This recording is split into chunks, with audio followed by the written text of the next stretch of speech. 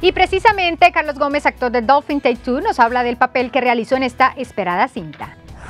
La espera terminó. Hoy es el gran estreno de la película Dolphin Tale 2, donde descubriremos más sobre la vida de los delfines y cómo podemos ayudar a rescatar esta especie marina. Una historia verídica que nos tocará el corazón. El actor Carlos Gómez, quien interpreta el papel del Dr. Aslan, nos platicó algunos secretos durante el rodaje. Nosotros trabajamos casi el, tiempo entero en el mismo aquarium donde está Winter, el delfín.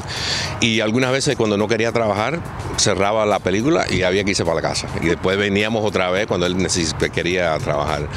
Muy inteligentes que son los delfines, más que nosotros podemos pensar. Y mucho ayudan a mucho a la gente handicap que vienen, que necesitan, que están paralizados y eso. Y es como una terapia para ellos. Y aunque usted no lo crea, Winter, la estrella de la película, por ser un delfín especial, tenía todo el derecho de decidir si trabajaba o no. Con lo, los entrenadores que están ahí son muy profesionales y lo conocen mucho a lo, lo que es de, los Dolphins y el, el, behavior de los Dolphins.